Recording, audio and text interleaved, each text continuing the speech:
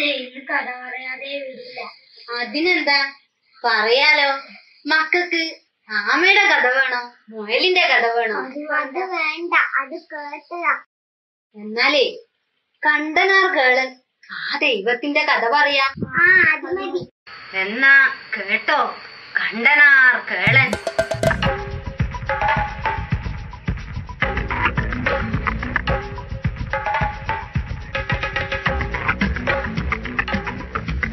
ചക്കിക്ക് വയനാട്ടിലെ പൂമ്പനം എന്ന കാട്ടിൽ വെച്ച് ഒരാൺകുഞ്ഞിനെ കളഞ്ഞു കിട്ടി. സുന്ദരൻ ചക്കി അവന് കേളൻ എന്ന് പേരിട്ടു.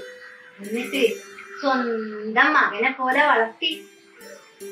അങ്ങനെ അവൻ നിങ്ങളെയും നിങ്ങൾ അച്ഛനെയും പോലെ നല്ല ആരോഗ്യവാനായി വളർന്നു. ചക്കിക്ക് അത് ഭയങ്കര സന്തോഷായി.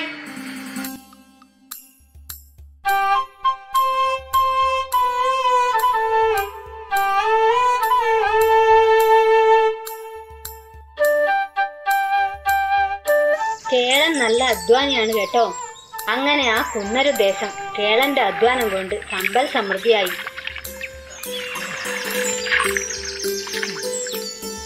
തന്റെ വയനാട്ടിലെ സ്ഥലവും കൃഷിയോഗ്യമാക്കാൻ കേളനെ ഏൽപ്പിച്ചു. അമ്മയുടെ വാക്ക് ശിരസാവഹിച്ച് കേളം വയനാട്ടിലേക്ക് പുറപ്പെട്ടു.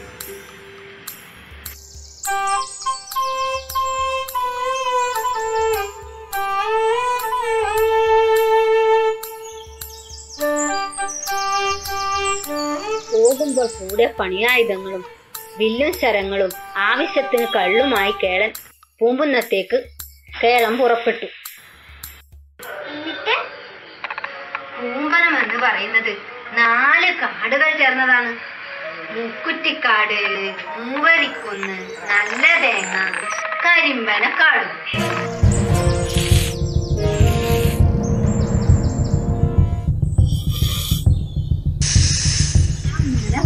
വലിയ മാറാപ്പുമായി കേളൻ ഓരോ കാട്ടിലേക്കും കയറി ചെന്നു.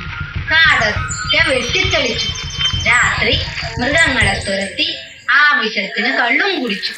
അങ്ങനെ അങ്ങനെ നാല് കാടും വെട്ടിത്തെളിച്ചു.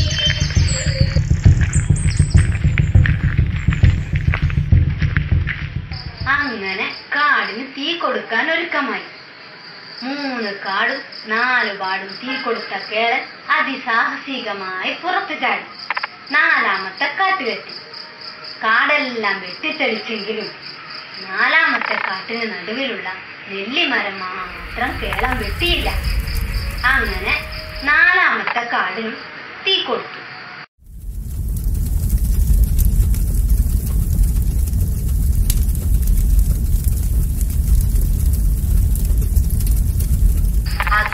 വായുവും കോപിച്ചു എന്ന് പറഞ്ഞാ മതിയല്ലോ.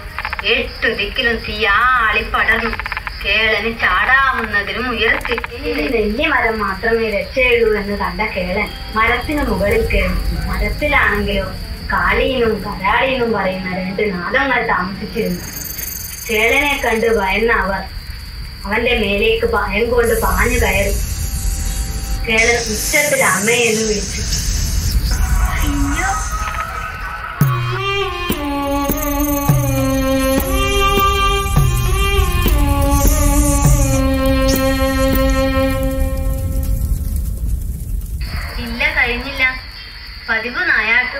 വരുന്ന വയനാട് കുലവൻ മാറിൽ രണ്ട് നാഗങ്ങളുമായി കിടക്കുന്ന കേളനെ കണ്ടു. ദേവൻ തന്റെ കാലുകൊണ്ട് വെണ്ണീരിൽ അടിച്ചു. ദേവന്റെ കാൽ പിടിച്ച് കേളൻ എഴുന്നേറ്റു. അങ്ങനെ മാറിൽ രണ്ട് നാഗങ്ങളുമായി പുനർജനിച്ച കേളൻ ദൈവമായി മാറി. വയനാട്ടുകുലവൻ കേളനെ ഇങ്ങനെ അനുഗ്രഹിച്ചു. ഞാൻ കണ്ടതുകൊണ്ട് നീ കണ്ടനാർ കേളൻ എന്ന പ്രശസ്തനാകും. മാത്രമല്ല എന്നും തന്റെ ഇടതുഭാഗത്ത് ഇരിക്കാനും ഒരു പീഠവും കയ്യിൽ ആയുധങ്ങളും പൂജയും കൽപ്പിച്ചു കൊടുത്തു ദേവൻ.